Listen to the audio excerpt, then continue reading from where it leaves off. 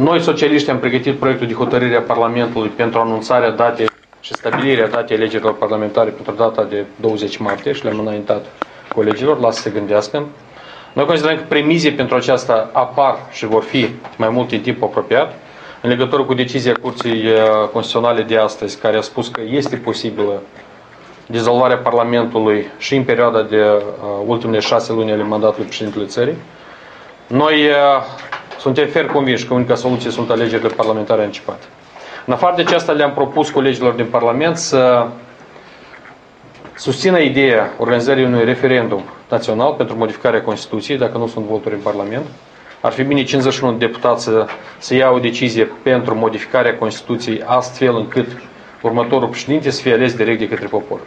Soluția propusă de noi, de socialiști, este următoarea.